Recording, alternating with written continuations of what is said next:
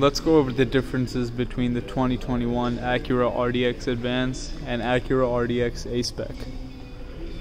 So the one, the white one, which is in platinum white pearl with the parchment interior is the Advance. And this lunar silver metallic one is the A-Spec and it has an ebony interior with ultra suede inserts.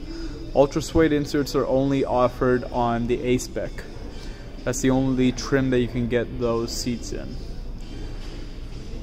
You get soft Milano leather in both of these cars and both of them have heated and ventilated front seats whereas the Advance only has whereas the Advance is the only one that has heated rear seats as well.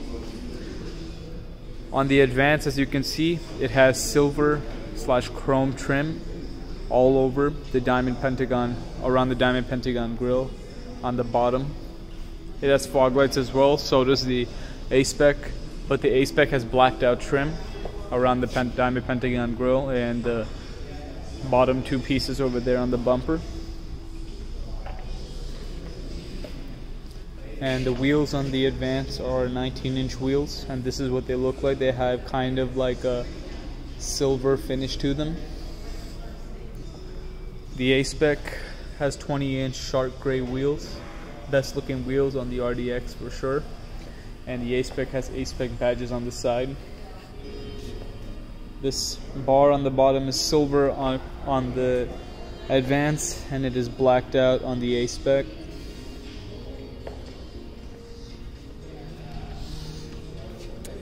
The RDX Advance has the hands-free access power kick tailgate where you put your foot underneath the trunk and it'll open up for you. That's the only RDX that can come with that. It has silver, it has aluminum or stainless steel exhaust tips. You go over to the A-Spec. The A-Spec has A-Spec badging on the back and the exhaust tips are much bigger and way more aggressive. The rear bumper is also a little more aggressive as well, as you can see with those three little indents that are coming out. If you look in the interiors, as I was talking about the ultra suede inserts. And the A-Spec has a perforated leather steering wheel. Very sporty look. It has a silver polished look for the trim. This also this has the ELS Studio 3D surround sound system with 16 speakers, as does the advanced model.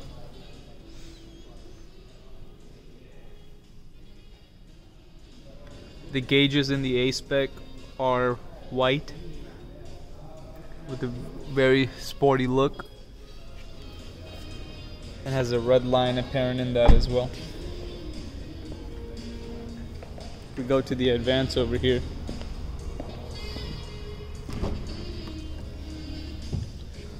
The advance has open pore wood trim and the same ELS Studio 3D surround sound system. This is finished in parchment, as I was saying earlier. This this steering wheel is also very nicely leather wrapped, but it does not have the perforated leather on the sides like the A-Spec, as the A-Spec sportier.